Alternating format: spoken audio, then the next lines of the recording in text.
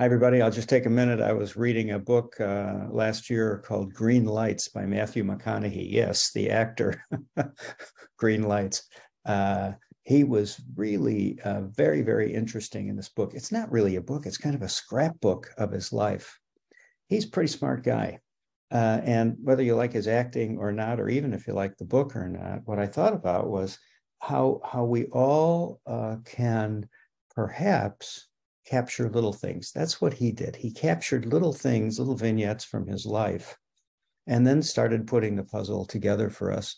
Uh, actually, he helped us start putting the puzzle of his life together as I read the book. And I thought to myself, uh, you know, when I'm at a meeting, when I'm presenting, when I'm making a point, uh, it's not a bad idea to capture the little things. What is it that's a metaphor that I can use? What what's the etymology of a particular word, an ordinary word that you and I use all the time to capture something, to, to help make it even more meaningful. I remember a long time ago, somebody told me that the word sarcasm uh, comes from the ancient Greek word sarcasmos, which means to tear the flesh like dogs. And I thought, wow, what an image that is. Because I always thought sarcasm was about how smart you were and how funny you were. Because I'm Irish, and that's kind of how we talk to each other.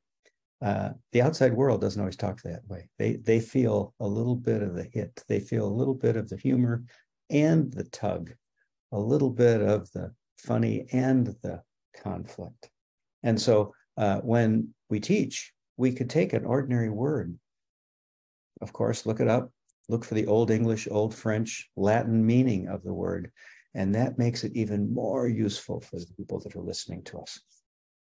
Uh, you might think about that later today when you're going to give your next presentation, especially with that very special word you want everybody to remember.